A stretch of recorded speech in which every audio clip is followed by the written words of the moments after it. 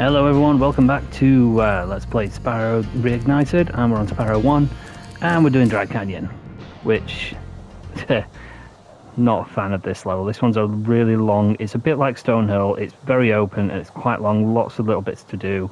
There's an egg thief in here as well, um, so yeah.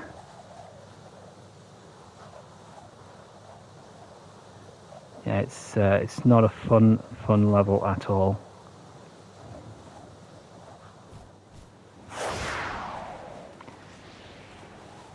So there is a, a, trophy in this one called Bird Brained. It's similar to the uh, the one from Clifftown where we have to flame all of the vultures.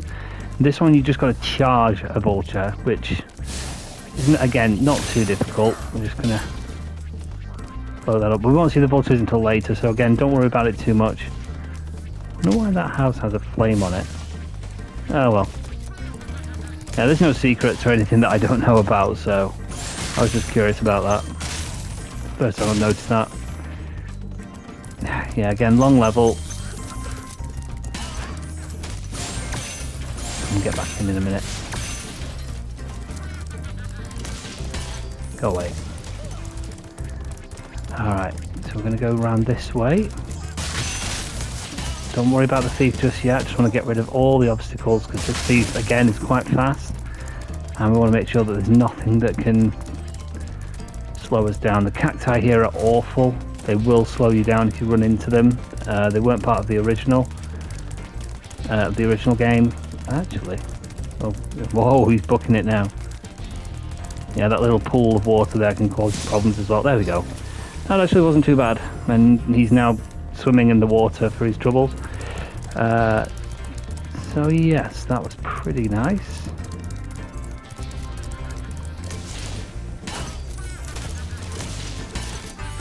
Ah. Goodbye. Right, dragon. What? Huh? Oh. Thank you for releasing me, Spyro. Really?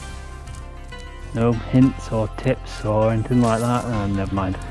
Okay, right, I'm just going to get out of the way here so I can explain this next bit. You'll see that there was a vulture there, but I just want to get out of the way. So there's two paths now to this to this level. We can now go up on the upper path and there'll be sort of like a, a, a, sort of secondary section of the level that we can go to. Um, but we don't actually want to go to there just yet because we need a key for a chest later on on the upper path. So we're going to take the lower path and you'll see that there's a vulture here. Just going to charge into them and there's your trophy. All done easily. And he can go away as well.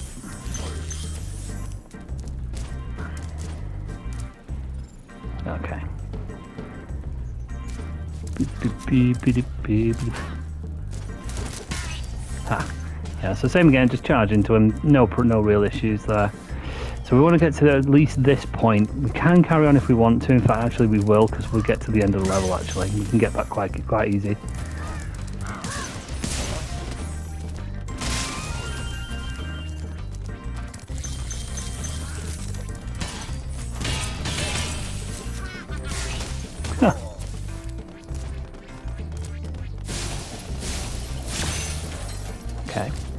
So you see we're at the end of the level, but we're not even halfway done yet, so um, we need to, basically we need to get to that key there that you can just see next to the dragon.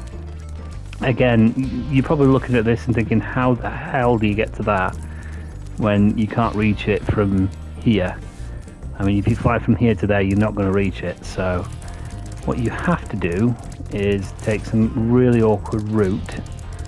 And this dragon will sort of give you the hint to it. This one here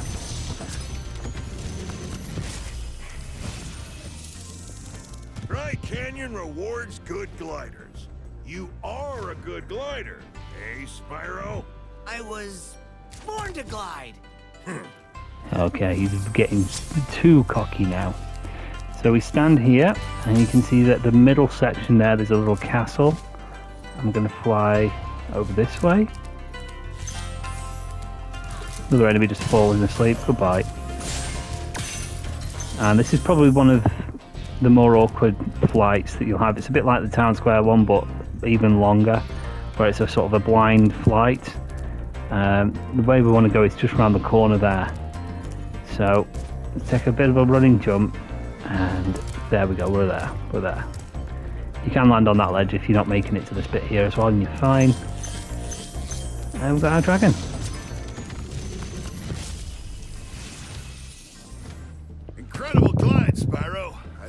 Stuck here forever with those ugly vultures standing on my head. Those birds might look tough, but they're pretty tasty. Flame broiled with a pinch of salt. Yeah, we found that out in the uh, in the last level in Clifftown. So there's the key. So that's basically how you get the key. So now we have to go all the way back, basically, um, to this area here, where we were going to go from the lower and the upper path. Now we can take the upper path. So because we have the key to be able to open the chest. Cam bad camera angle.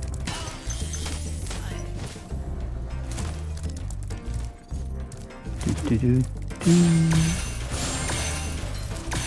There we go. Nice. Bye.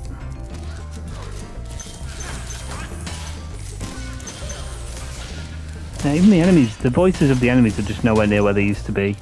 Used to be more like frog-like, um, whereas now they're just sort of like wacky noises.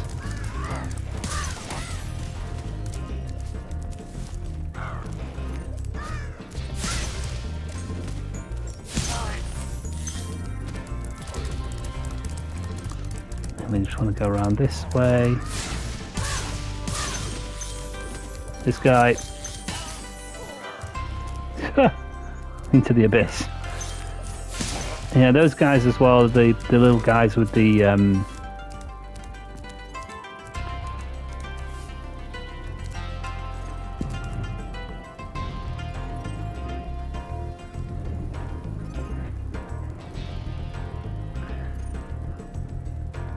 Yeah, those guys there with the um, that we that we that we threw off the the abyss there. Um, they used to be yellow, and now they're sort of like a greeny tinge.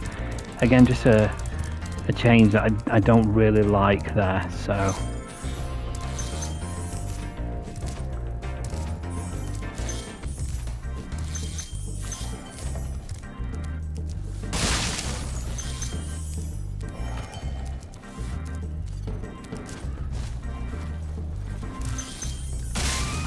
life there, quite easy. And then into here, and we've got a dragon.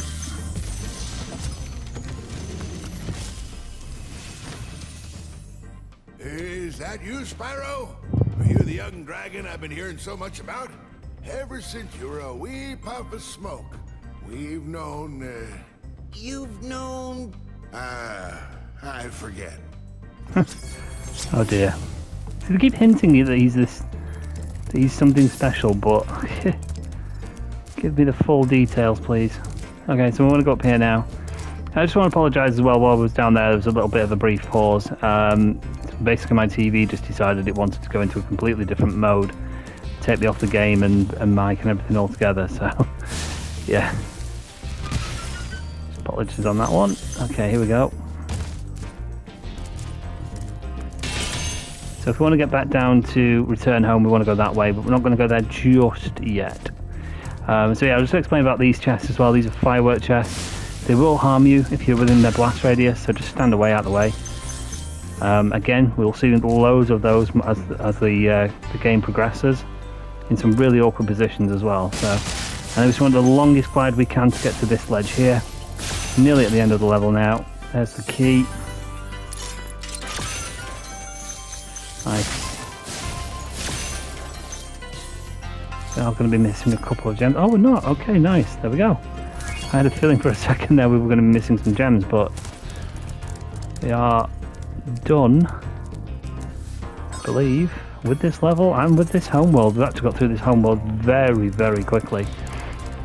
Uh, Peacekeepers, if you can master the, the little secrets of it, you can fly through it really quickly. So,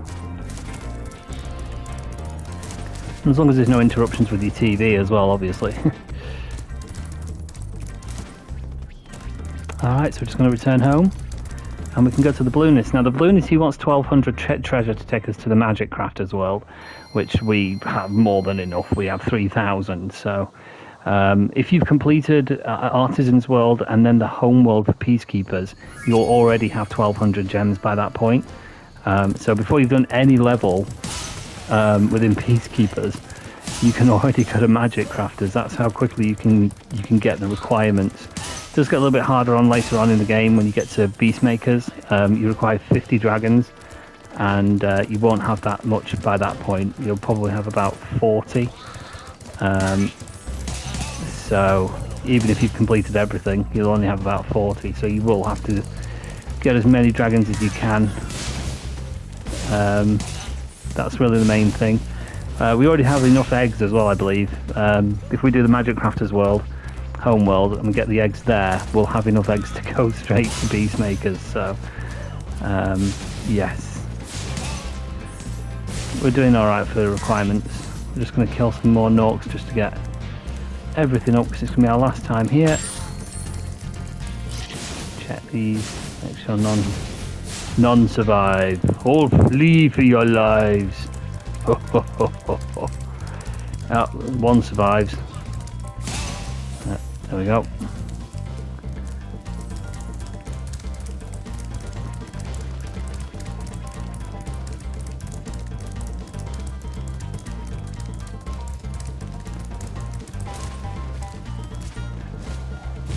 And then we're just going to get this guy